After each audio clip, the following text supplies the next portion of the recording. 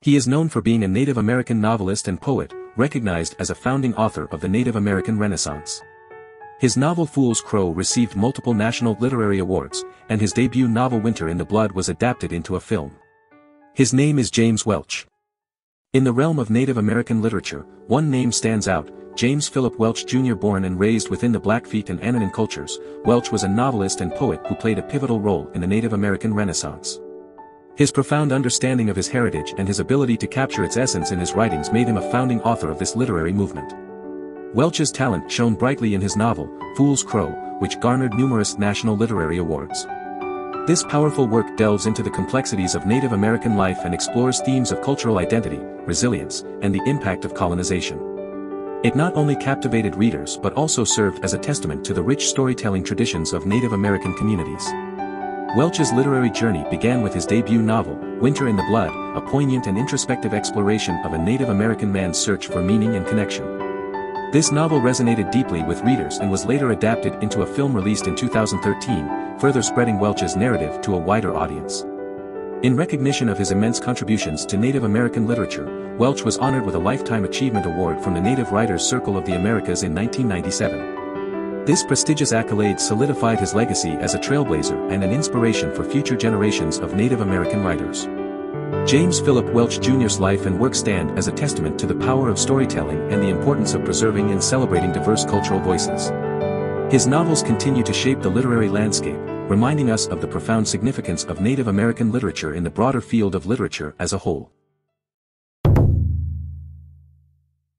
James Welch, a renowned Native American author, emerged during a time when Indian authors were largely unknown in mainstream literary culture.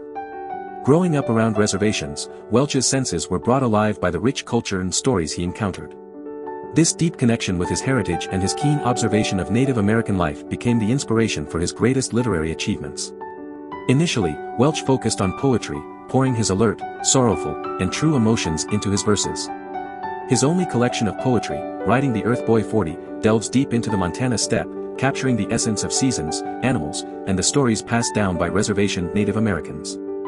These concise and expressive poems offer glimpses into profound moments of thought and experience. After dedicating several years to poetry, Welch turned his attention to fiction, penning his first novel, Winter in the Blood.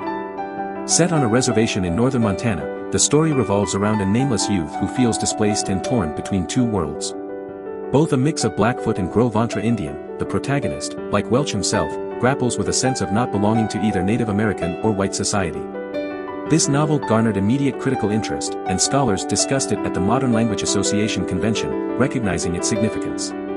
In Fools Crow, Welch takes on a historical context, transporting readers to the 1870s during the U.S. government's war against Plains Indians. The novel centers around the character Fools Crow, who strives to maintain his traditional Blackfoot way of life amidst the encroachment of white settlement. Welch skillfully weaves his own family's history into this narrative, adding a personal touch to the story. Critics often debate whether to categorize Welch as a Native American storyteller or an American author. However, his work defies such categorizations, as he seamlessly blends Native American traditions with Western literary conventions. Welch's fiction explores the complex interaction between American Indian and white America, bridging cultural gaps and offering compelling narratives that resonate with readers from all backgrounds. Do you want to explore more novelists? Who do you want to see featured next? Subscribe and leave a comment below to let me know. I'll see you in the next video.